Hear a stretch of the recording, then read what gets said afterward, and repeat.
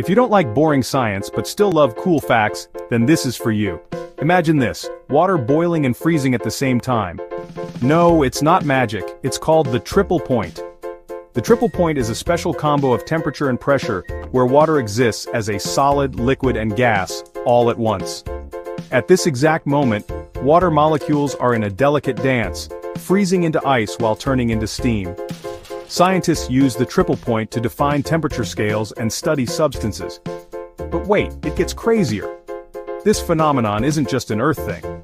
On planets and moons with extreme atmospheres, substances like methane and carbon dioxide have their own triple points. Imagine pouring a glass of water on an alien world and watching it boil and freeze simultaneously. Wild, right? Nature's full of mind-blowing science like this. If this fact blew your mind, share it with a friend and see if they believe it. Keep exploring and stay curious.